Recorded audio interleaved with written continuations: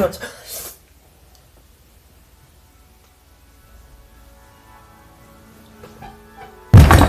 Hey, what's up you guys? It's that one blonde, and I am a little bit angry because last night I was up until 12 in the morning, and can you guess why? Because YouTube doesn't know how to function its loading screens.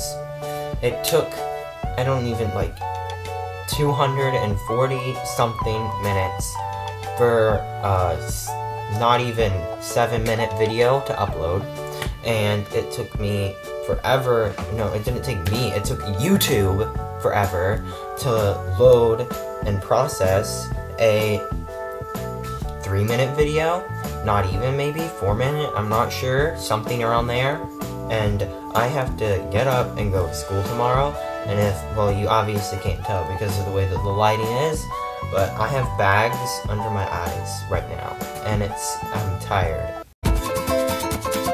Honestly, YouTube needs to get on their shit because I need to be able to go to school tomorrow and I need to be able to do the things that I need to do and I need to be able to do my homework and I need to be able to run and I can't do any of that stuff because I'm absolutely freaking tired. This is my proposition for you, YouTube.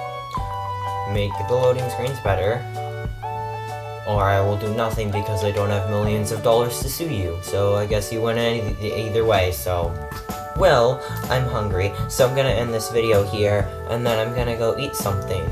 Even though I don't deserve to eat things, because I'm pretty lazy sometimes. But that doesn't matter. So, I'll see you in the next video. Like, subscribe. Sorry this was a short video. Eat a cupcake, and bye.